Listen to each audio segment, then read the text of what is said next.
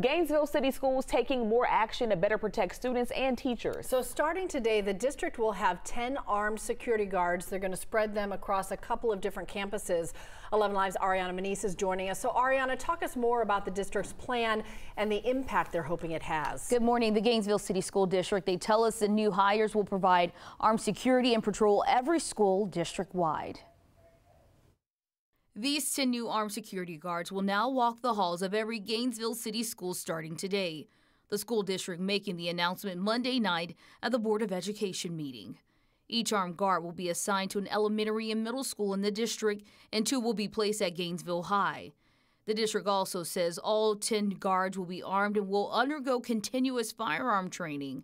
The school district says in total, the guards bring nearly 300 years of combined law enforcement or military experience to the position. The guards will work side by side with five Gainesville City Police Department school resource officers.